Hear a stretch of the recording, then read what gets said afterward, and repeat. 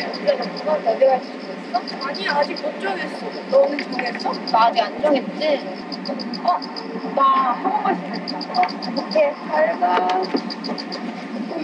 어디 고등학교를 가야 되지? 고민이다. 어? 어? 이 종이비 어디서 날라왔지? 이 뭐야? 이 반짝반짝 빛나? 어? 놀랐지? 이 종이 비행기는 우리가 보낸 거야. 고등학교를 선택하는데 고민이 많지. 우리가 이 고등학교를 선택한 이유를 보여줄게.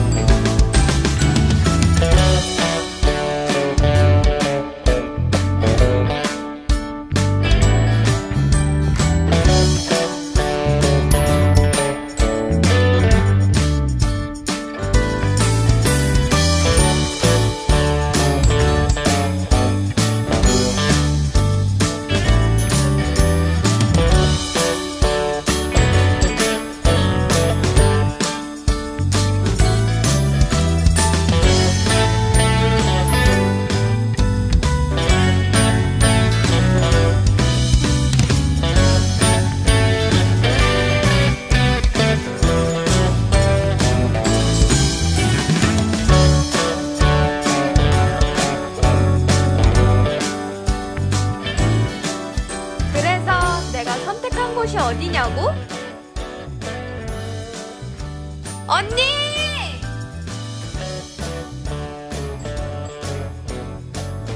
바로 여기야.